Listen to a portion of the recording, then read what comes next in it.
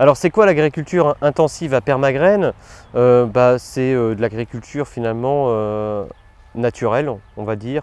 Donc avec les principes de la permaculture, déjà on valorise déjà la nature, on essaie de valoriser toute la biodiversité, qu'elle soit comestible ou même simplement des, insectes qui vont apporter déjà aux autres hum, espèces cultivées.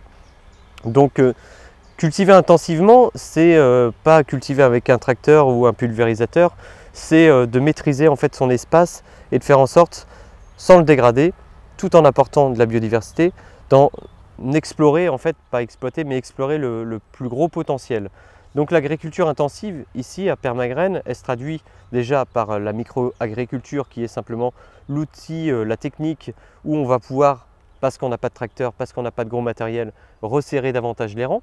Donc euh, les rangs sont espacés parfois de 10 cm, euh, euh, les rangs de culture, hein, donc entre les carottes et les, poireaux, il y a 10 cm par exemple. Donc ce qui permet au mètre carré de doubler, quadrupler ou même, c'est même parfois 10 fois plus de rendement au mètre carré avec ces techniques-là. Et puis ici sur permagraine, on ne va pas désherber en fait.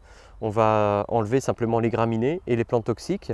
Et donc il va rester plein d'autres potentiels de plantes comestibles qu'on peut valoriser. Donc euh, pour moi, c'est ça l'agriculture, euh, on va dire, intensive, c'est de produire de la biodiversité, produire euh, finalement de la nourriture, et puis bah, de se serrer les coudes, de se serrer les rangs en fait, pour être plus fort. Quoi. Alors qu'est-ce que c'est l'agroécologie pour moi?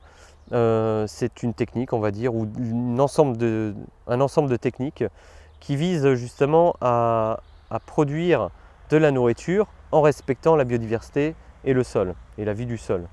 Donc euh, pour moi l'agroécologie c'est quelque chose de très pratiqué forcément ici avec euh, différentes techniques comme euh, le non-labour, le paillage, le travail avec des engrais verts, plein plein de techniques hein, finalement qui sont on va dire très connues aujourd'hui, qui ne sont pas forcément innovantes.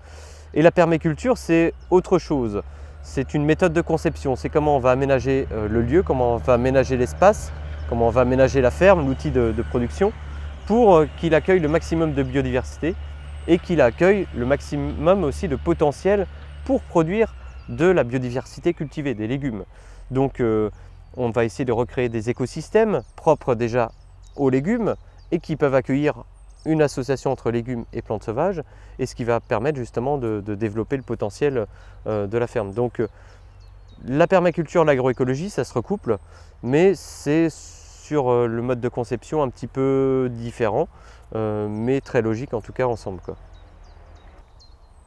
Alors les techniques culturales qu'on utilise ici à Permagraine, elles sont essentiellement basées autour de l'agroécologie, donc euh, tout ce qui est rotation des cultures. Ici on fait une rotation sur 4 années, donc 4 années de, rotation de culture avec la première année légumes gourmands, là où on va mettre beaucoup de matière organique, et on n'en remettra pas pendant 4 ans, puisque l'année d'après, après les légumes gourmands, donc principalement les courges, on mettra les légumes racines, donc carottes, euh, betteraves, etc. Ensuite les légumes feuilles, tout ce qui est euh, euh, tout ce qui est salade, etc. Et à la quatrième année, on mettra les légumes plutôt type légumineuses, qu'on appelle les légumes fleurs, qui sont relativement autonomes sur un sol qui est moins riche. Donc ça c'est une première chose. Avec cette technique, ça nous permet de mettre moins de fumier, parce que le fumier est rare en agriculture urbaine, hein. il faut déjà aller le chercher dans les fermes aux alentours, ou alors le produire, mais on n'a souvent pas la place. Donc il est rare ce fumier. Euh, en excédent, il peut être euh, mauvais pour certaines plantes, donc euh, ça permet d'équilibrer aussi cet apport de compost et, de matière organique. C'est souvent une corvée de mettre du fumier parce qu'on travaille sans tracteur en agriculture urbaine, donc c'est à la main, à la brouette, donc de mettre une, une de fumier tous les 4 ans sur une parcelle, bah, c'est beaucoup moins de boulot. Et puis euh, ça permet aussi, euh, cette technique, de travailler quasiment pas du tout le sol, parce qu'avec cette technique, c'est les vers de terre, grâce à cette matière organique, grâce aussi au paillage, grâce à une rotation aussi intelligente, puisque euh, première année, ce sont les courges aidées des vers de terre et de la vie du sol qui sont en train de manger cette matière organique qui vont travailler, donc les vers de terre vont travailler le sol. Deuxième année, les carottes, ça décompacte encore le sol, donc ça continue de travailler le sol. Donc si elles sont paillées, l'hiver suivant, ben, ça travaille aussi avec les vers de terre, et ainsi de suite, jusqu'à apporter donc des légumineuses pour repartir ensuite en cinquième année en légumes fruits, donc avec l'apport de compost. Donc déjà pour moi, le travail en agroécologie, c'est déjà ça, c'est déjà de maîtriser la vie du sol et puis d'avoir une astuce intelligente pour ne pas avoir besoin de travailler son sol et de laisser faire la nature et de laisser faire les équilibres s'installer. Après, donc, euh, toutes les techniques se recoupent, hein, donc le paillage, euh, le non-désherbage. Ici, on n'arrose pas non plus les cultures parce qu'on n'a pas besoin finalement euh, d'arroser les cultures vu que c'est très paillé, vu que même si on est en sol sableux ici, pourtant on est en sol très très compliqué pour cette technique, mais on n'arrose pas. Et les résultats sont là parce qu'on respecte finalement les lois de l'agroécologie qui sont les lois de la nature et de la biodiversité. Quoi. Donc préserver la, biodiversité, c'est aussi céder sur les techniques agricoles et euh, l'agroécologie, pour moi, c'est, euh, ça devrait même être obligatoire euh, donc dans toute activité, en tout cas d'agriculture urbaine, qui travaille généralement sur des sols qui sont assez durs, souvent dégradés. donc il faut vraiment penser d'abord à ça avant de penser à ce qu'on peut faire comme légumes.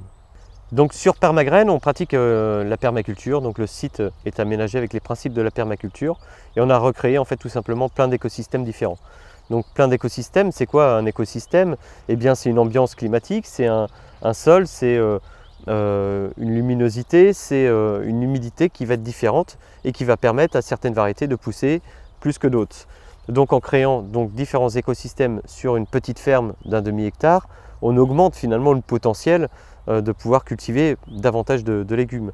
Donc l'innovation vraiment c'est ça en fait ici sur, sur Permagraine, c'est de créer plein plein de talus Ici, il n'y a pas de but en lasagne. Euh, on crée plutôt des planches de culture fixe entourées de talus qui permettent à la fois de créer des, micro-climats différents et puis des écosystèmes différents et puis aussi de permettre à la biodiversité de, se déplacer librement dans, la ferme. Donc si vous venez euh, sur Permagraine, vous verrez que c'est un vrai labyrinthe avec euh, des petites buttes, des, planches au sol, des planches surélevées, des mandalas, etc. Et tout ça permet euh, d'optimiser en fait le potentiel euh, qui permet justement à ces techniques d'agriculture urbaine et de micro-agriculture intensive bah, euh, d'être au, plus fort en fait de son potentiel.